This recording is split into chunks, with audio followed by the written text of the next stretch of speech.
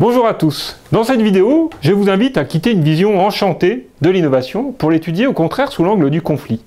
Nous verrons que ce dernier, quelle qu'en soit la définition qu'on en donne, se trouve être au cœur de la définition et de la diffusion de toute innovation. Pourtant, même si certaines nouvelles propositions scientifiques, techniques ou organisationnelles inspirent de la crainte ou de la défiance, globalement, nous partageons une vision très positive de l'innovation. Nous apprécions les capacités d'innovation des individus, des groupes sociaux et des organisations qui en sont à l'origine. Nous aimons nous croire modernes. De ce fait, les récits qui accompagnent l'innovation sont en quelque sorte romancés on y survalorise le rôle des valeurs positives et des comportements de coopération, de solidarité, de participation, d'entraide. Pourtant, nous allons le voir ici, les conflits et leur résolution jouent un rôle central dans les processus d'innovation. Un rôle très largement méconnu ou tout au moins sous-estimé. Pourtant, certaines théories des sciences sociales interprètent précisément l'innovation comme un des moyens par lesquels s'exerce une puissante domination sur certaines classes sociales dans tous les domaines de leur vie quotidienne. Dans ce cadre de pensée, les conflits sont si récurrents qu'ils se fondent presque en une seule et même force dominatrice qui en organise la résolution et qui les masque aux yeux même de la plupart de leurs protagonistes. Pour les théoriciens marxistes, notamment, l'innovation constitue ainsi l'expression la plus achevée du capitalisme et de la lutte des classes. Dans ces paradigmes, qu'on appelle le matérialisme historique, l'économie et l'organisation des moyens matériels de production constituent les véritables moteurs de l'histoire reléguant celle des grands hommes, des grandes figures politiques, des grandes figures scientifiques ou techniques au rang strict de l'idéologie. Dans un mode de production capitaliste, la bourgeoisie s'approprie la force du travail des prolétaires en exerçant sur ces derniers toute une série de pressions organisationnelles, sociales, idéologiques et morales. L'innovation permet tout d'abord aux entrepreneurs d'augmenter la productivité et de dégager davantage de plus-value sur leurs outils de production, humains compris. Mais elle leur permet également de leur assurer une domination symbolique, en diffusant l'idée d'un progrès technique censé assurer un bien-être matériel au plus grand nombre, alors même que ces derniers placent les travailleurs dans une situation de plus grande précarité, en donnant à l'entrepreneur les moyens d'utiliser moins de bras plus efficacement. Pour paraphraser Karl Marx, disons que l'idée du progrès est l'opium du peuple. Il assure une puissante dépendance des travailleurs vis-à-vis -vis des entrepreneurs et il masque par un épais voile de fumée les véritables mécanismes de cette dépendance. Bien entendu, toutes les théories d'inspiration marxiste ne sont pas aussi ouvertement cyniques. Et les innovations peuvent altérer plus subtilement les rapports sociaux qu'au travers de la stricte organisation du travail.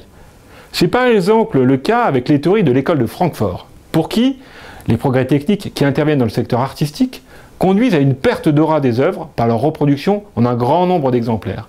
Ici, l'innovation contribue à substituer aux émotions artistiques des actes de consommation capitaliste de la culture, abaissant la condition des classes populaires au profit d'élites qui conservent quant à elles les moyens d'accéder à des œuvres et à des émotions authentiques.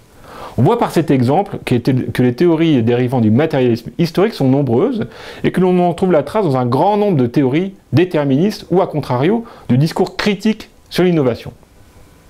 Ne souscrivant pas au caractère systématique et implacable de la domination capitaliste, de nombreuses autres approches voient au contraire dans l'innovation l'expression d'une résistance ou d'une déviance par rapport à un ordre social institué.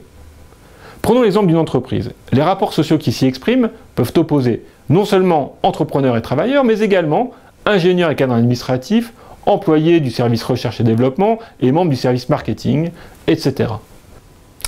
Ce qui se joue dans ces oppositions tient certes aux logiques professionnelles, aux carrières, mais également au type de socialisation comme le diplôme ou l'origine sociale. Tous les acteurs peuvent avoir une vision différente du sens de leur action et de ce qu'il convient de faire pour l'entreprise. Mais la majorité d'entre eux vont contribuer, sans même s'en rendre compte, à assurer la pérennité de leur mode d'organisation. Pour rompre avec ces derniers, certains individus vont devoir employer une activité sociale particulière qui les fera dévier de la norme instituée. Ils seront alors vus comme déviants par les autres membres de l'entreprise et percevront la pression des normes s'exercer sur eux avec une force renouvelée.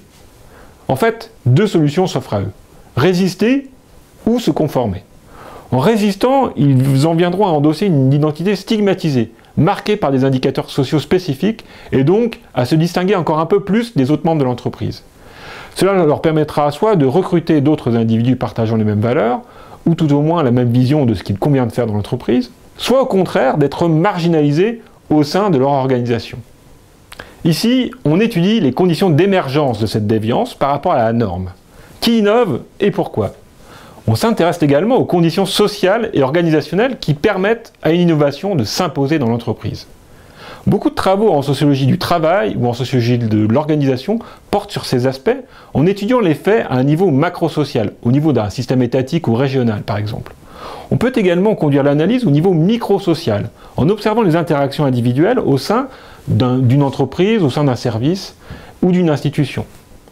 Dans le cadre de ce cours, il me paraît en tout cas utile de retenir deux grands enseignements de ces très nombreuses théories. Tout d'abord, il faut comprendre que le maintien d'un mode d'organisation traditionnel requiert de l'énergie de la part de ses défenseurs. Il n'y a pas d'un côté des innovateurs énergiques et de l'autre côté des conservateurs passifs. Au contraire, il s'exprime des tensions sociales impliquant la participation parfois intense d'acteurs ayant des façons de faire et des visions divergentes. Cela est également vrai du côté des utilisateurs dont les pratiques novatrices ou conservatrices peuvent demander autant d'énergie sociale quand d'ailleurs elles ne coexistent pas au sein des mêmes individus. Autre point important, l'innovation peut constituer une activité ordinaire au sein d'entreprises ou de la société dans son ensemble. La déviance ne s'exprime pas toujours de façon fracassante avec des controverses qui éclatent au grand jour. Elle peut au contraire et bien plus régulièrement s'exercer de manière subtile et quotidienne, sous forme de petits conflits larvés. Les normes sont alors travaillées, redessinées par les acteurs sociaux, et le changement peut intervenir sur une longue durée. Retenons donc de cette séance deux points. D'abord, l'idée qu'innovation et tradition peuvent toutes deux requérir une intense activité sociale. Ensuite, le fait que l'innovation n'est pas nécessairement en rupture avec un système existant. Elle peut revêtir un caractère ordinaire, quotidien. En repartant de cette base, nous verrons que dans le dernier chapitre de ce cours, que toute activité novatrice repose sur des opérations de traduction sociale. L'innovation étant affaire de construction symbolique et de conflit, elle a besoin de passeurs, de médiateurs. Ça tombe bien, parce que je me propose justement d'être le vôtre dans la vidéo qui suit. Merci de votre attention et à très bientôt